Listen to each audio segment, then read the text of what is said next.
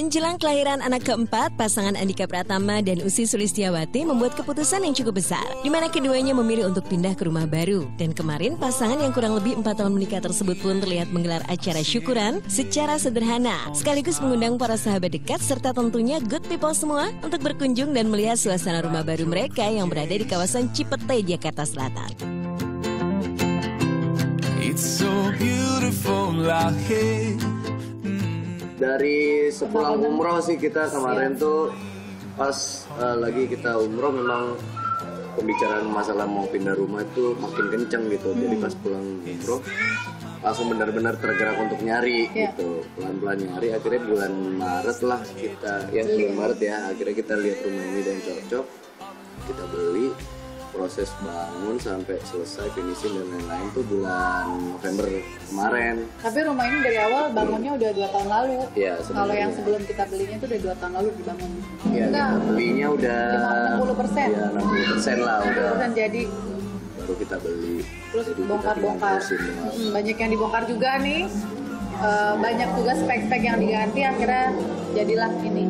Kalau luas tanahnya 610, luas bangunannya ya sekitar itulah.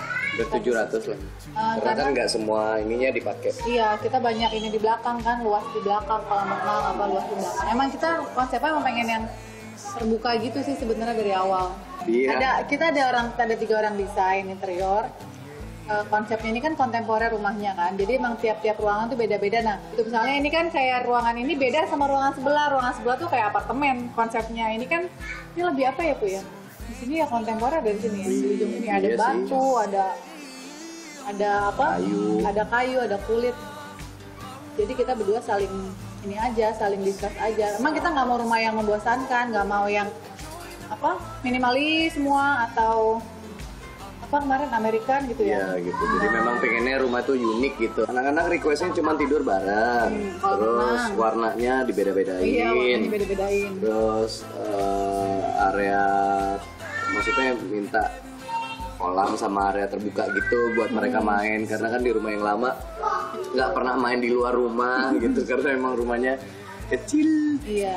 jadi eh, cuman itu aja sih titipannya anak-anak gitu Melihat rumah baru Andika dan Usi yang terbilang sangat mewah dan tentunya memiliki harga yang sangat fantastis, lalu sebenarnya sebesar apakah perjuangan yang harus dilalui Andika dan Usi untuk membeli rumah baru ini? Sampai berdarah-darah itu sih.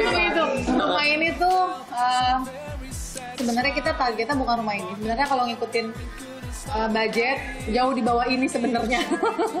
Cuman kemarin kita punya apa ya nekat sih antara nekat tapi juga di lain sisi memang kalau menurut aku pribadi waktu itu kenapa aku milih ini daripada ntar beli rumah yang eh, tidak sesuai tanggung ntar akan pindah-pindah lagi pindah-pindah lagi buat apa gitu. Jadi mendingan eh, beli sekalian walaupun harus berjuang mati-matian tapi udah nggak pindah-pindah lagi dalam waktu yang lumayan lama gitu. Kalau yang rumah sebelumnya dia udah ngucap kita tinggal di sini lima tahun deh kata dia gitu. Karena waktu itu dia baru nikah kan gimana caranya punya rumah dulu? Karena dulu salah mama punya rumah dulu baru bisa kawin.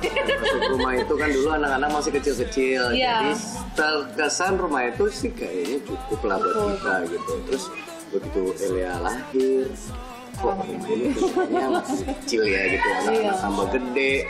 Terus mereka harus rela kamarnya diambil satu buat barang istilahnya kayak gitu loh. Aduh kesian banget sih. Ntar ya sabar ya nanti kita pindah rumah yang lebih gede kalau ada rezeki. Terus akhirnya terwujud lah Berhasil membangun rumah yang telah lama diimpikan, Usi pun mengaku sangat antusias untuk turun tangan langsung menata setiap sudut rumah barunya itu, meski di tengah kondisinya yang tengah hamil besar. kayaknya hampir 90% aku yang Iya, karena saya di rumah jarang juga. Dia kita kontrol by phone aja Iya. gitu. Dia yang ngurusin. Untungnya kebetulan dibantuin sama karyawan-karyawan Iya, kita iya, gitu. banyak, Nah, Wah, banyak. kalau enggak sih bisa Gempor. gempor. nggak nggak nggak pakai jasa apa pindah-pindahan benar-benar nggak pakai jasa pindah-pindahan sendiri aku. Makanya ada wartawan yang mau wawancara kagak. Aku lagi jadi upik abu aku yang Nata, begitu. Nata sendiri. Nata sendiri semua. Paling kalau aku udah capek aku tinggal ngadu aja dia. Aku capek aku sama. Aku keram ini itu. Kalau kalau se- selama aku masih bisa jalanin sih aku jalanin aja